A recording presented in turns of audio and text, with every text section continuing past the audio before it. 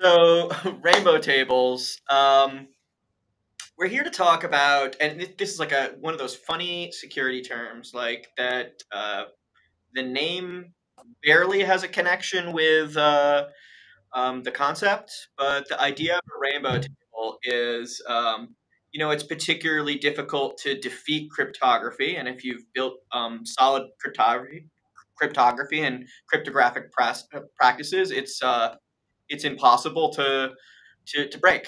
Um, however, um, sometimes cryptography is not built to be break proof. Sometimes it's just built to slow down a comp computation operation.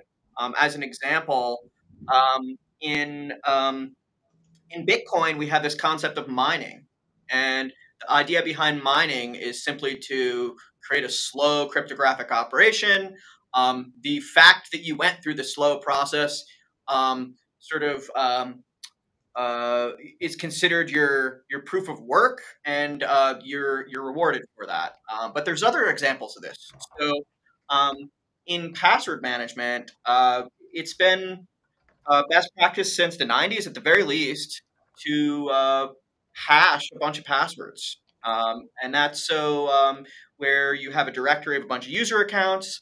Um, it, rather than storing the plain text of the passwords, you simply store this one way cryptographic hash. However, it is possible to brute force um, those hashes. What that means is um, if you get if you get a copy of the password file, um, you can simply run every possible password across those hashes um, to figure out what everyone's password is. And if you get a hold of a um, a uh, encrypted password file, you can sort of crunch with it and then come back and basically have a list of everyone's passwords, which is um, defeats the purpose of, of encrypting the passwords. So um, to defeat that, we use salts, and the reason we use salts is because of this thing called a, a rainbow table.